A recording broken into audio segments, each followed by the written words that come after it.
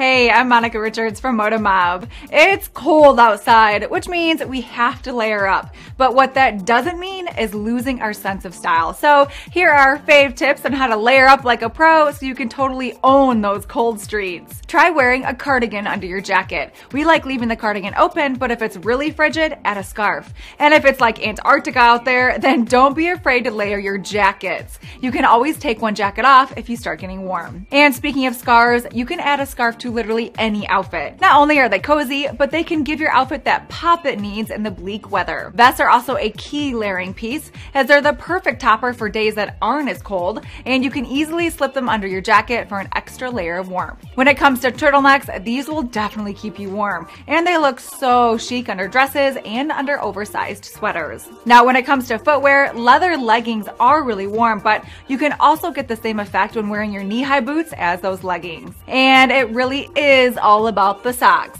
Long gone are the days of showing off your cute petty, but you can still rock your favorite pair of heels or Oxfords as long as you add a pair of ankle socks. And here's a little tip for you. Over the holidays, try Rihanna's new sock collaboration with Stance. How perfectly festive are these? Here's to staying warm and stylish this winter. And for more cold weather tips, keep it right here.